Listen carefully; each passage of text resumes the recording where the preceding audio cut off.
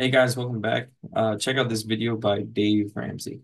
Three things happen with home ownership that make you want to do it as a long term play versus renting your whole life. Number one, rents go up every year. More and more and more of your money is going to go out the door for housing. And if you buy a home and you lock down your payment, your rent doesn't go up anymore. Number two, the value of the house goes up, and when you when you rent, obviously you don't own anything that's going up.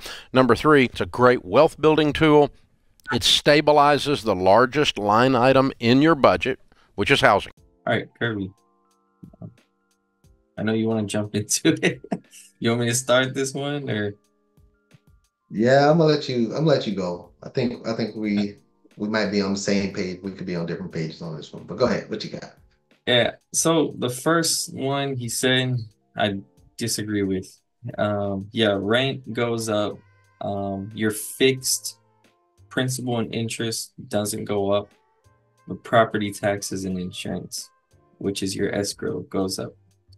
And as we've seen for the over the past, I would say probably four or five years, property taxes and insurance in not all states, but some states such as Florida, um, Texas, New York, California, these these have risen heavily.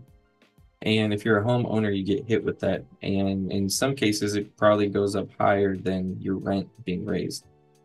Um, I know Kirby, you mentioned you know someone that lives in the Texas area that they built a home and then their property taxes were one thing and then it went all the way to $11,000 a year, which is essentially almost a $1,000 per month increase in their mortgage payment. So these are things that are actively increasing. I think that's a big lie that people say that oh you're once you buy a house you're on a fixed payment. And I mean that's that's something I thought too when I bought my first house. I thought that you lock in your monthly payment, that's what you pay for the rest of your life. And the reality is the hidden fees, the escrow, those will constantly go up every single year. It's not like it's not like renting from a mom and pop landlord where they're like, "Oh, this year it doesn't go up. We'll tack it on later." Like the government wants their money, insurance companies want their money. Yeah, um, as far as Dave Ramsey saying, I, Dave Ramsey knows better. I think he's being disingenuous when he say this. I when he made the statement. Um, I think, and I'm saying that he knows better is because Dave Ramsey's own homes, both finance and paid cash. He owns rental properties. Um, when a debate comes of owning versus renting, it's just a matter of which one loses the most money. You both you lose both ways, but which one is losing the most money? So, Alex, as you said, when you rent a home, the rent goes up usually every month. I mean, now if you get some places in, you know south southeast of the United States, you get a mom and pop landlord, they just let you pay the same thing for next 15, 16 years. That's rare. But the cost of owning a home goes up every year. Alex, you already talked about how the insurance and property taxes go up. But there's more. When you're renting, you don't have to worry about the maintenance costs. The cost of maintenance go up on a house every year. So when you own a home, just for the people that don't know, if you live in some place like let's say a Florida or something like that, you have to replace your roof every 15, 15 to 18 years. Just for a normal size house, let's say 15 to 1600 square feet. When I put a roof on my house, I paid 10,000. Now for my rental properties, the size is about the same, a little bit bigger. Now I'm paying 17 to 18,000. So so if you just add that, if you just add that part up, I mean the cost of maintenance, hot water tanks to change a hot water tank, it used to cost like six hundred dollars to change a hot water tank. Now it's about fourteen hundred dollars to get a hot water tank changed. So the cost of maintenance go up also. So the cost of living does increase on both sides. And people always get upset and say, "Oh, well, it's an investment." Yeah, it's just it's an investment. You will save money that you wouldn't save anywhere else because most people don't have the the dedication and discipline to save money. But the costs are there. Only thing you got to do is run the numbers. If you buy a house for hundred thousand dollars, or you buy well I, am not going to use the hundred thousand dollar metric because that's what everybody uses so if you buy a house for two hundred fifty thousand dollars and you're making a mortgage payment on there every year and then you sell it for fifty thousand dollars more let's say six six to eight years from now how much money did you make people gonna say oh you made fifty thousand dollars no you didn't because when because this is what most people don't do they don't add the lawn care Lawn care costs between, I mean, if you're doing it yourself, you still got to pay for gas and all that. But most people in Florida, for instance, they have a lawn care service. That's 100 $120 a month. Right? And then all the maintenance that you got to fixing cabinets, fixing drawers, fixing leaks, fixing uh, hot water tanks, fixing ACs, fixing roofs. All this stuff adds up, adds up, adds up. If you just put all the cost that all the stuff that you did, upgrades and all that other crap, in one bucket, and then you add it to the cost that you pay for the house, and you sell it for fifty thousand dollars in the future, not to include taxes, to include insurance, put that in the bucket of other expenses you got to pay. You really lost money in the whole transaction, and then you add in the six percent realtor fees that go along with that, then closing costs and all that other jazz that go with it. PMI if you're paying that.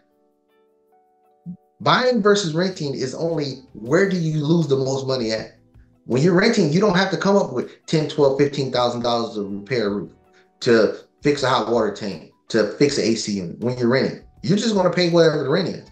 But when you own, you still gonna have to pay that mortgage. It don't matter if the hot water goes out, the roof caves in, or anything. That mortgage is still due on the first of every month. Plus, you got to come up with the big nut lump sum to pay for these things. Most people put them on a credit card and then pay it off, you know, over time. But those are big big number items that come across being a homeowner. Renters don't have to deal with it. And that's the part that everybody want to leave out because we've been taught this whole American dream thing that, oh, you should buy a house. Yeah, the American dream, the only people that make money on the American dream are investors and banks. The homeowner that lives in it is not making no money in this game. Yeah. Yeah, it's you said it before too. You hadn't said pick your liability. Do you want to rent or do you want to own? And I think you mentioned that in the class that you hold, but you know that was that's a good way to put it. I mean, do you want to own a home or do you want to rent? Either way, you're going to be spending. It's a liability on either end. It's a monthly ob- obligation. It's an expense. Um, home ownership shouldn't. I don't think it should be looked at as an investment. Um, the only you know, I would say I, I prefer home ownership in the sense that you get to control more aspects of it. If there is a water leak from the roof, you know, you can fix it on time rather than waiting on the landlord. Hopefully, you have a good landlord. You know, it's like it all balances out. Hopefully, if you're renting, you have a good landlord, you're in a good area. If you own, hopefully, your house doesn't need a lot of maintenance. But it's like there, it's headaches on either end. So, I mean, that's that's how I view the comparison between the two. Um, going going to that statement that you just said, if you have a good landlord and he fixes the leak, the difference between a good landlord and a bad landlord, if the landlord has capital to fix the leak, if they don't have the capital, the leak ain't gonna fixed. That's the same thing as a homeowner. Most homeowners, like they did the survey, 60% of 60 to 75% of Americans can't even afford a thousand dollar emergency. A roof leak gonna cost you more than a thousand dollars. So even if you bought a house and you can't afford to fix the roof, you're still gonna be getting leaked on. so that's the truth of it. If I mean, most people don't, they can't afford a thousand dollar emergency. Just think of how much stuff costs for these homes that people buy when it, when a maintenance bill comes. I mean, just think of the maintenance bills you get for your rental properties. Most people can't afford those maintenance bills. That's why landlords don't don't pay for it because they can't afford it and most homeowners can't afford it either. And then that's why properties go in the dumps because they got to patchwork. Hopefully, they can find a friend of a friend that can do some makeshift shoddy work to just uh, last a little bit longer. But then it deteriorates further, deteriorates further because they don't have the capital. So, I mean, it's damned if you do either way. If you don't have the capital, if your landlord don't have the capital, you're still in the same situation of it's really nothing you control if you don't have the capital to control it. So, I mean, me, when it came to renting versus owning, I've done both. Uh, I own a, I own a house, and only thing I see is money flying out the door, flying out the door for maintenance, flying out the door for oh, let's do this upgrade. Just money flying out the door because I'm not about to upgrade it and sell it.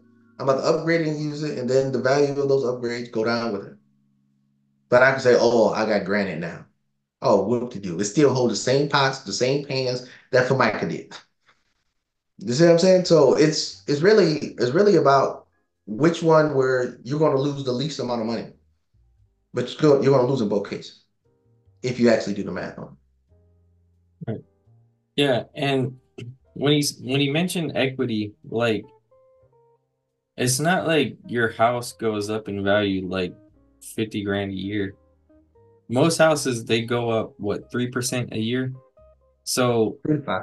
Mm-hmm. Yeah, 3 to 5. So that's the common amount. So if you are in a house that needs and requires a lot of maintenance and you're paying that out of pocket and then you have your mortgage and then your insurance and taxes are increased every year, then that equity maybe breaks even, maybe not.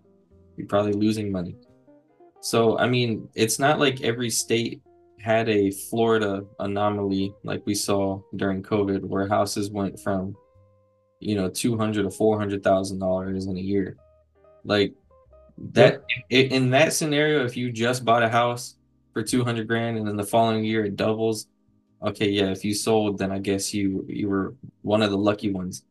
But that's not common. That doesn't happen with the majority of houses in America and you know and then so but the other thing too is like if you decide to stay in those homes if you decide to stay in your home that just doubled in value because of some rare anomaly now your taxes have gone up and your insurance has gone up which is what floridians are saying right now one thing being said and of course, y'all know on this channel we're big Dave Ramsey fans. I mean, I know he's preaching his book when he's saying this, and and the reason why they talk about equity so much is because he knows that people don't have the discipline enough to save. Um, so if just doing apples to apples, if you rent a thousand dollars a month, or if you rent a place for 10 years or 20 years versus buying a house, and then at the end of that 20 years, how much is your net worth? Your net worth will be higher in the house because you have that quote unquote equity in there because you you was forced to save. That's what it is. But if you're a renter and then as if you're a renter and then the money that you you could put into a mutual fund or something like that or, or investments that's going to give you a 10% increase, it will be higher than the equity that you have in a house that's only giving you three to five percent uh, increase in equity a year. But in both scenarios, you're losing money. So that's why we always talk about buying a house in is a liability and renting is a liability also. So again, liabilities are things that take money out of your pocket. Assets are things that put money in your pocket. It don't matter how you want to derive it, change it, screw it up, make it look, you know, fancy and funny. But that's what assets and liabilities are, and both are liabilities. With all that being said, we'll see you in the next video. I know we ran a little long today, but it was a topic that we're passionate about. So yeah, have a go. See you guys.